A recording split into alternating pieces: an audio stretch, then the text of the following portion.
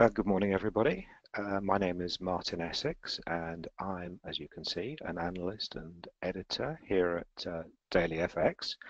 Um, for those of you who don't know me, um, I've uh, worked as an economist for several years, and I'm also a qualified technical analyst. Um, so what I like to do is I like to combine um, technical analysis with economics and politics and so forth. And um, I've also worked as a financial journalist at places like uh, Reuters, the Wall Street Journal, the BBC. Um, these are, of course, my personal views. They're not the uh, the views of Daily FX or of uh, any other company, just my own personal views. And we are here to look at the Eurozone PMI data. Now, the PMIs are important forward-looking indicators for the Eurozone economy. Um, eh, we've often said in the past that um, if you look at the official data, it's like looking through the, the rear view mirror of your car. Um, what these PMIs and other forward-looking indicators do is they, they, they look forward. They try to um, explain what's likely to happen in the future. Now, we've already had a whole raft of data today, and I want to talk to you about that because what's important is that um, uh, the, these indicators give you an idea of how to trade the rele relevant um, instruments and in particular because we're looking here at the Eurozone where I'm personally based we're, we're looking at um, how uh, the uh, economy might be affected therefore how the central Bank, in this case the European Central Bank, might react, and therefore what's likely to happen in the relevant in, instruments, most notably here the euro, but also some of the stock market indexes. So as I said, I'm going to look at the um, daily FX calendar to tell you what's already been um, released this morning. And as you can see, there's a huge raft of data that's been uh, released already. So let's start off with the um, German uh, economic growth data, GDP data. Now, this is not the first release. This is um, a, a, release that gives rather more breakdown than uh, uh, in the initial, um, excuse me, in the initial flash indexes. So what we've seen here is we've seen, if you look at the figure here at the very top of the screen, this is the German GDP first quarter final, and uh, this is quarter on quarter. You can see growth of 0.6%, exactly as um, uh, as in the preliminary uh, number, and also growth year on year 1.7% exactly as in the uh, uh, initial number. So nothing very surprising there. So let's go down here after all that GDP data to look at some um, PMIs that have already been released. Now we've already seen figures here for both, excuse me, France and Germany, um, the two largest uh, Eurozone economies. So we can get a good idea from these as to what to expect from the overall Eurozone figures, which are coming out soon.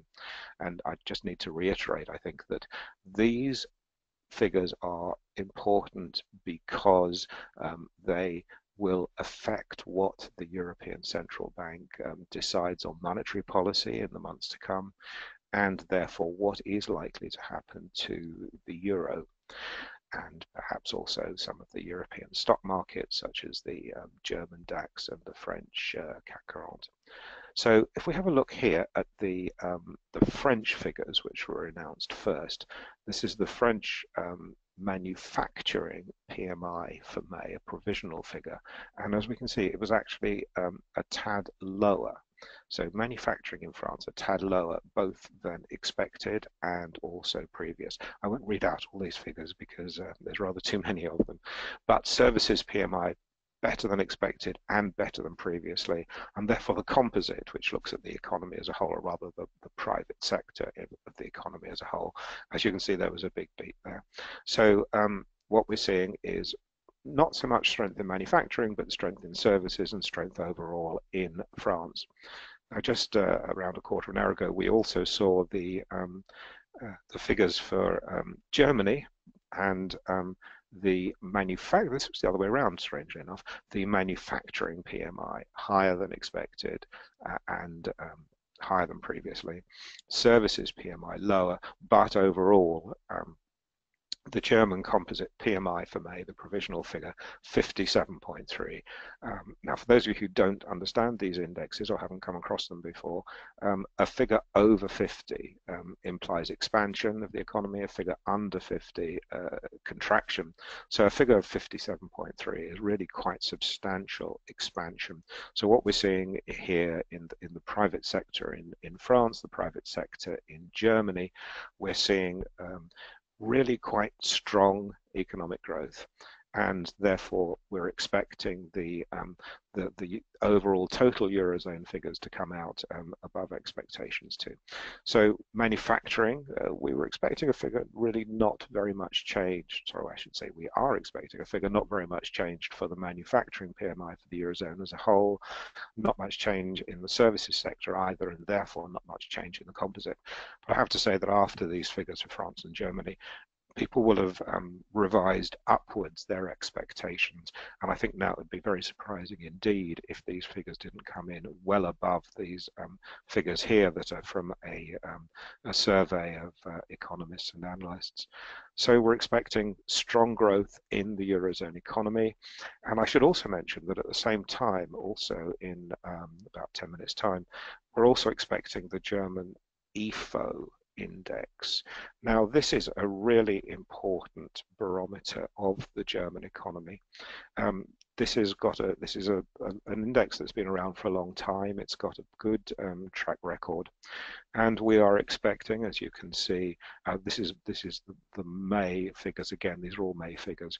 Um, the business climate a small increase from 112.9 to 113.1, 113.1. Uh, That's what's expected. But it's not just the business climate, it's also expectations. And this is an important figure as well. And as you can see, um, we're expecting um, an increase there. Current assessment, uh, again, roughly unchanged. So what we're expecting now, even more than previously, is a really strong set of figures for um, for the eurozone and for Germany in particular. So let's look at the um, in a minute. Uh, actually, in a moment, we'll look at the, um, the, the instruments that are involved, the euro and so forth. But um, I should, I think, at this point, mention the um, uh, the atrocity in Manchester in northwest England. Um, a lot of children at a pop concert um, seem to have been targeted by a, um, a, suicide bomber. And there's no doubt that, um, well, first I should say that our, our, thoughts and our prayers are with all those people.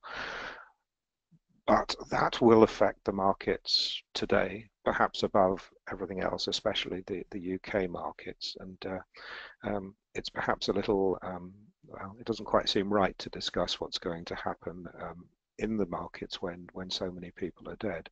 But I think you can say that um, the the overall tone in the markets today is going to be risk off. Um, we, have already seen some pressure on sterling and some uh, increases in um, the prices of safe havens like the Japanese yen and for gold. Um, it does seem wrong to discuss the markets when, when there is such an atrocity, such a horror. But um, obviously we, we need to include, we need to look at the markets as well. So let me look at the um, uh, where we are at the moment on the markets and um, I want to start off by looking, this is the, the, the, France 40, but actually I want to look first at the, um, the euro because that's where um, these figures will have their most important impact. So, excuse me, I have a sore throat. Um, looking first at the euro against the dollar, so this is a daily chart of the euro against the dollar. And as you can see, there's been a really strong upward trend, which started around here. Um, let's get the time frame here right. Um, this is a chart, by the way, of 2017 as a whole to date, euro against the dollar daily, um, a daily bar chart. And, um, sorry, a daily candlestick chart. And as we can see from here about the 12th of May, which is what now um, 11 days ago, we've seen a really quite strong rise here in the euro against the dollar, though I think to some extent that's uh, reflected um, euro, uh, not so much euro strength as dollar weakness. So we have seen an upward trend here, uh, quite a strong trend in the euro against the dollar. And um, we always say here, at least in, in, technical terms, that when there's a trend, you might as well go with it. You might as well go with the upward trend.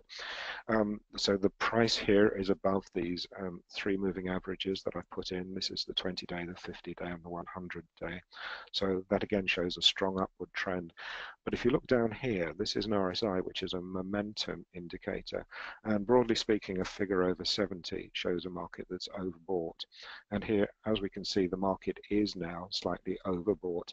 So there's a word of caution here in the um, in this particular chart. Let's have a look at some other charts, though, of the euro um, against some of the other currencies. And let's look um, at euro sterling, for example. Now, this is over the same period. This is um, 2017. It's a daily candlestick chart.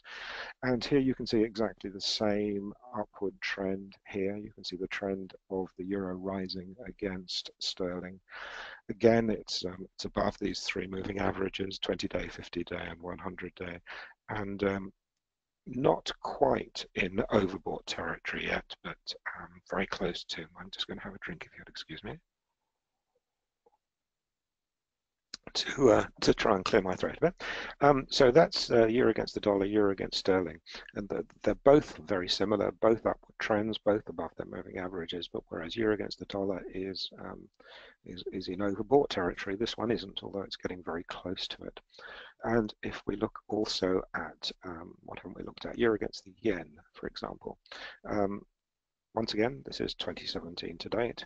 Uh, this is the, the chart, and um, here, uh, as you can see, uh, yet again, a, a strong rise um, upwards in the euro. So the euro has been strong all round against the moving averages.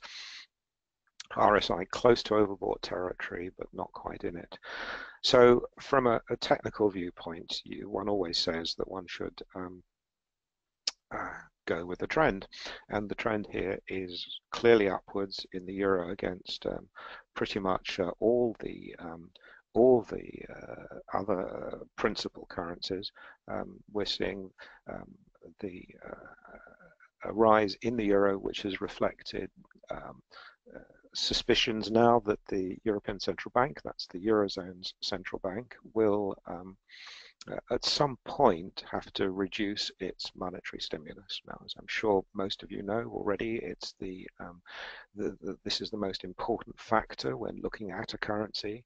Um, this is um, uh, we want to know what the eurozone monetary policy is because that, to a very large extent, will determine where the currency is going. If monetary policy is tightened, um, then um, you would expect um, uh, uh, currency to rise, and if eurozone uh, monetary policy is uh, is further uh, eased, which is not going to happen, then uh, you'd expect the currency to come down. So we're getting quite close to the figures. They're about um, a minute and a half away now.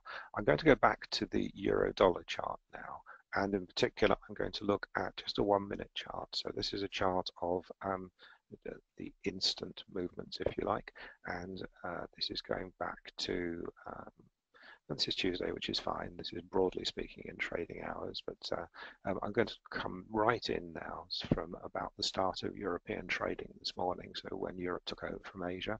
Here you see a slightly different picture. You see, um, as I said, this is a euro dollar chart. This is um, this is the euro uh, so far this morning in Europe. Um, we've seen it rising gently and then falling back. Um, the data are now due uh, very shortly, and um, just to remind you that we're looking for um, uh, we're looking for the IFO index, but also we're looking for the um, manufacturing services and composite flash PMIs. Um, all of these will be important. All of these will determine the direction of the um, of the currency and of the stock markets. So um, what we're expecting to see, as I said, is uh, an improving trend. Um, the um, the, the previous Eurozone figures were at um, uh, six-year highs, and I think it would be a surprise if they weren't now at new six-year highs.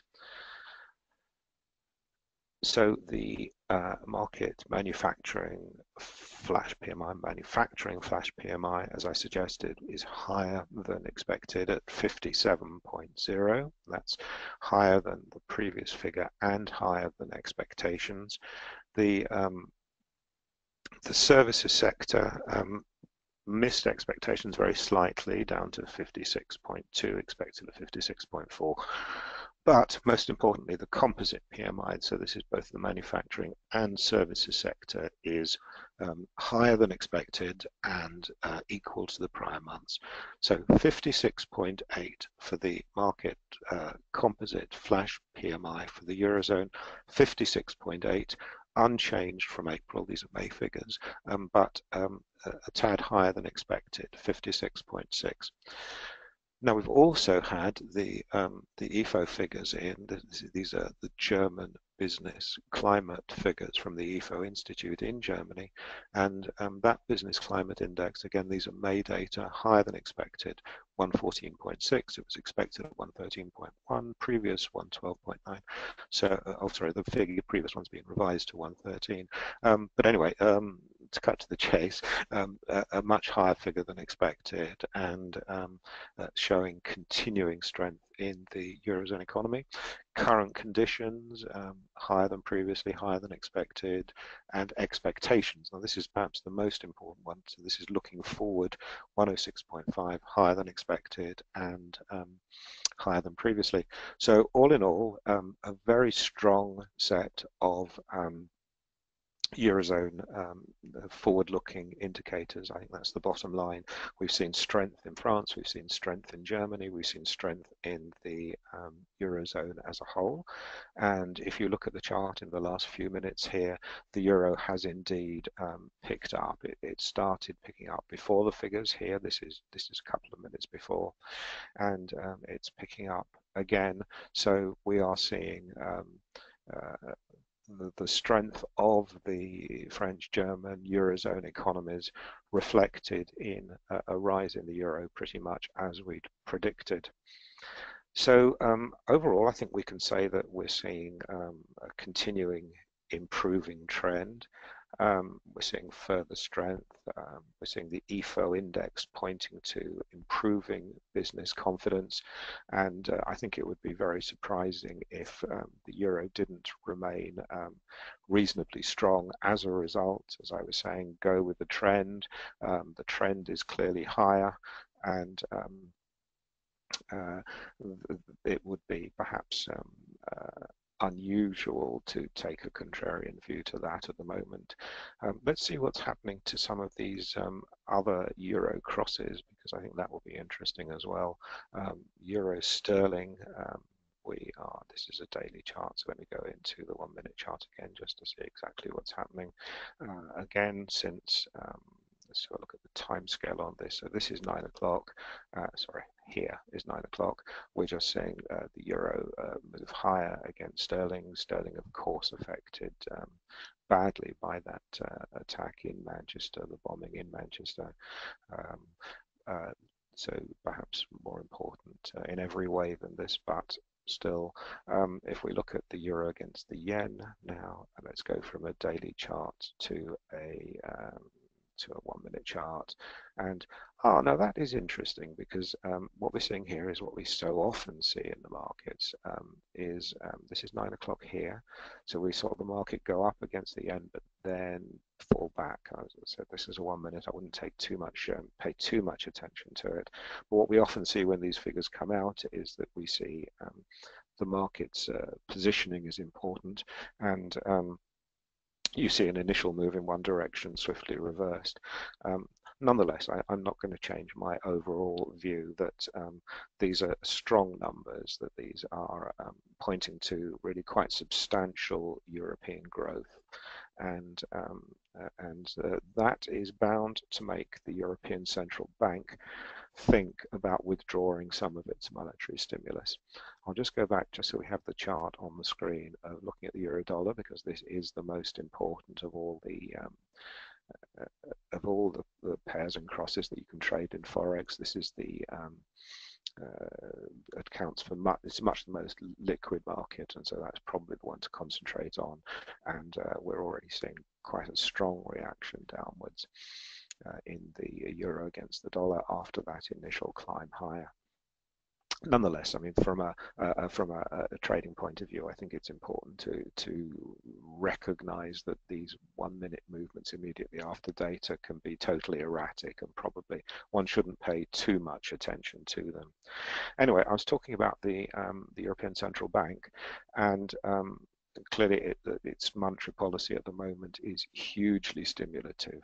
And therefore we're looking at some point for the ECB to reduce its monetary stimulus nobody's expecting um, an increase in Eurozone interest rates at any time in the near future. It is possible, though, that it might just reduce some of its bond buying. It might just decide that um, uh, just a tiny um, reduction in its bond buying um, is called for now that the economy is growing so strongly. Inflation is not particularly a problem. And um, I'm not expecting this to happen soon, um, but I think it will be um, on the agenda, and I think that um, that's why we have to look at um, uh, what the European Central Bank is saying. Of course, the central bankers do tend to signal things well before they actually do them, and so I think we can we can look at, uh, in particular, what Mario Draghi says, um, the president of the ECB, about um, possibly withdrawing monetary stimulus. I think we have to look at the, the language of these people just to make sure that um, we understand what it is that they're planning for the future, and parsing the words, if you like. Now, there's um, another point I should make here, which is that the Germans are beginning to push um, even more strongly for the ECB to um, uh, to, to reduce monetary stimulus. We've heard many, many times the German finance minister, um, Wolfgang Schäuble, um, uh, talk about um, the need for the ECB to reduce its stimulus um, almost as regular as clockwork. Um, uh, uh, Wolfgang Schäuble comes out and says that um, Eurozone monetary policy is, is too loose. For the German economy. And uh, we hear Mario Draghi, the ECB president, saying that he has to look at the Eurozone as a whole, not just as its biggest um, member. What, what's happened this week, um, yesterday, um, was uh, rather more unusual, which is that Angela Merkel, the German chancellor, Schäuble's boss, actually came out saying that the euro is too weak. Now, that was a big departure for her she's facing um, uh, re-election uh, later this year, and um, it's important um, that she would that she would say something like that. Unusual, saying that the euro is too weak for the needs of um, the German economy. So still more pressure on the European Central Bank to to um, reduce its monetary stimulus. As I said, we're not expecting an increase in interest rates in, in the eurozone, but we could um, see uh, a little bit more some of the money taken off the table effectively.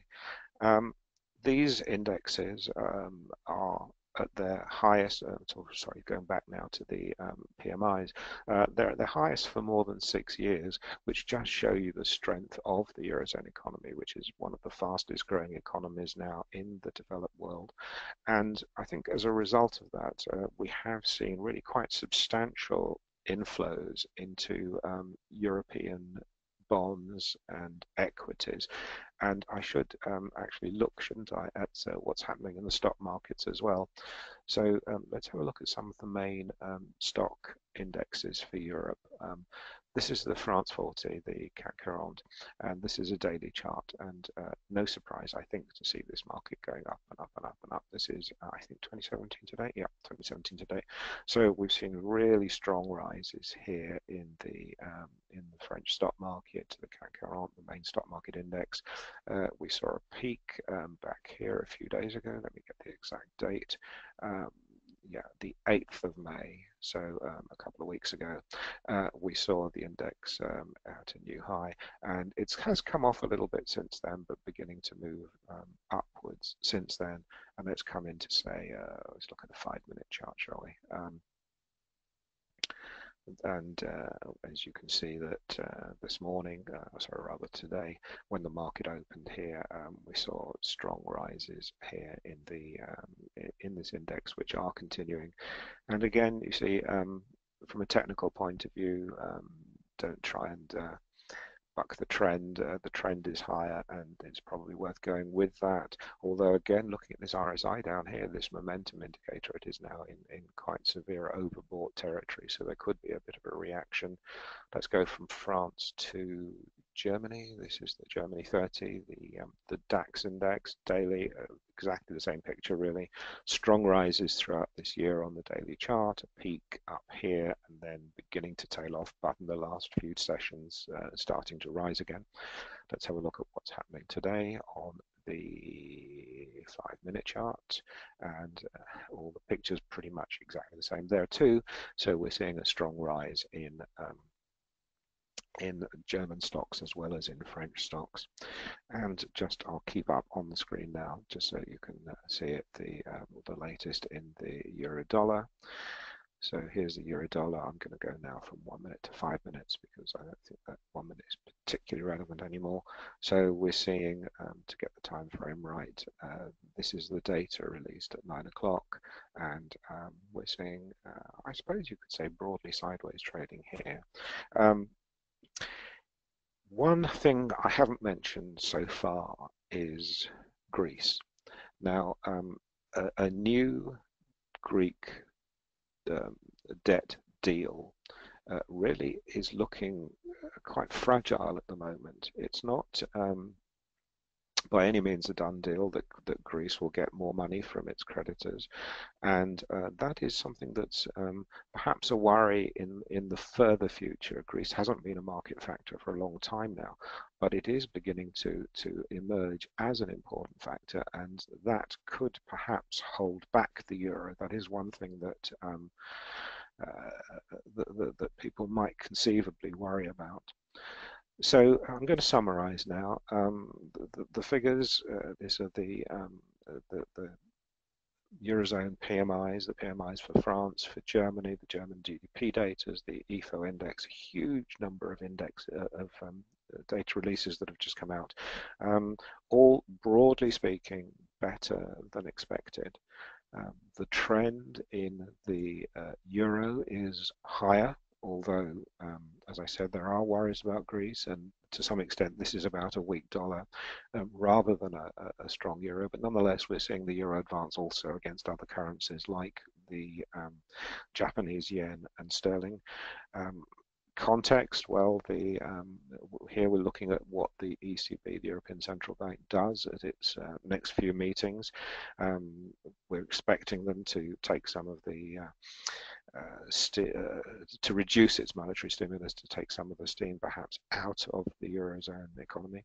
Um, if you're looking at all this data, the, the, the, currency to look at, of course, is the euro. Um, but don't forget that you can trade the stock markets as well. So you can look at these, um, the two largest eurozone um, stock markets, the, the French market and the German market.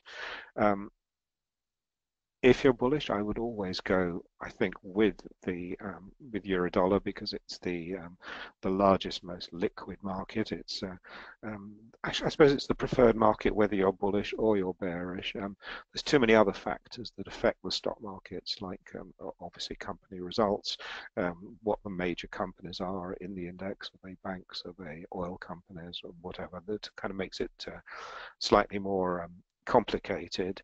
Um, the data um, certainly fits, as far as I can see, into these um, uh, into the bullish scenario for the currencies, even though the, the, the euro is, is, has come off a little bit, um, just a tiny bit against uh, other currencies. Um, after these figures, I would expect that to to be reversed. Um, looking ahead, um, I should uh, say that this is a hugely um, busy day for data, not just in the Eurozone, but elsewhere. Um, we're expecting in a quarter of an hour's time some um, UK data. We're expecting um, the public sector borrowing figures. And um, all in all, um, a busy day for data. We've also got the flash PMI from the United States coming out uh, this afternoon, our time here in Europe. And with that, I think it's about time I signed off. Um, I hope you found this uh, useful. I hope you'll join me in future for more of these um, data webinars. Um, we have another one coming up in um, uh, just under two hours time. It's a, a European, it's, it's a, um, the European Desk Roundtable at which uh, I and my colleagues will talking about uh, Europe more generally. Um, this is at um, 11 o'clock BST. You can adjust that for where you are. Um, so just under a couple of hours time we'll be talking about the um, uh, what the major factors that are affecting Europe at the moment and the European markets more generally and um, uh, I hope you'll join me and my colleagues for that but for now goodbye